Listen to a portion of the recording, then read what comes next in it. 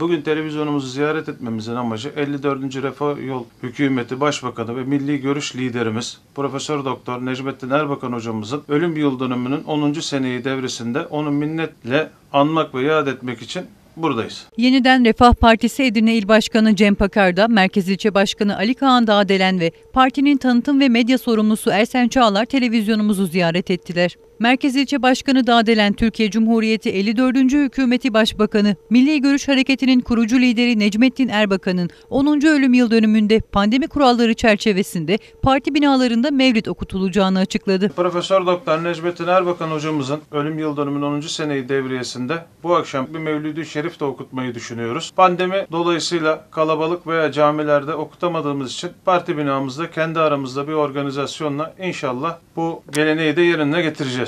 Çağlar'da 2018 yılında Necmettin Erbakan'ın oğlu Fatih Erbakan tarafından kurulan parti bünyesinde Türkiye ve Edirne'ye hizmet etmek için ellerinden geleni yapacaklarını kaydetti.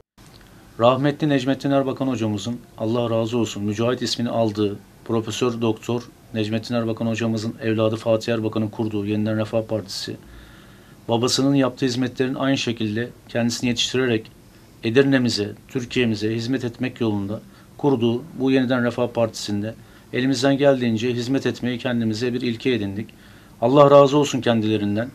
Çünkü Necmettin Erbakan hocamızı bütün Türkiye'de şu an sağ sol ideolojik olarak değil gerçekten ülkesine hizmet etmiş çiftçisine, memuruna, işçisine, emekçisine, emeklisine hepsine hakikaten Allah rızası için samimi bir şekilde gerçekten haklarını verdiğini bunu bütün insanlara, büyüklerimize sorduğumuz zaman zaten hepsi olumlu konuşuyorlar.